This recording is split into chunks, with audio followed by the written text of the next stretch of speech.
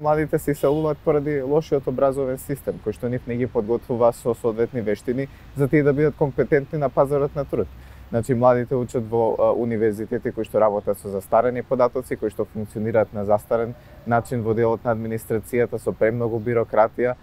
процесот не е дигитализиран или ако е дигитализиран, тоа е во делови, само на некои факултети. Понатаму, самиот квалитет на наставата која што се изведува сите оние рангирања кои што ги гледаме, каде што недозволиво е за најголемиот универзитет во земјава да си дозволи туку така да паѓа на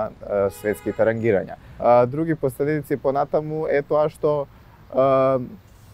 немањето на работна сила многу ги, ги разорува малите бизниси. Малите бизниси не може да се одржат толку добро како што, на пример, големите бизниси можат да го прават тоа, а, бидејќи тие работат со помал број на луѓе и кога тие не се атрактивни за младите луѓе, бидејќи младите си одат од државата, тие едноставно се приморани да а, или да ги да ги затворат бизнисите, што понатаму отвора уште еден поголем процес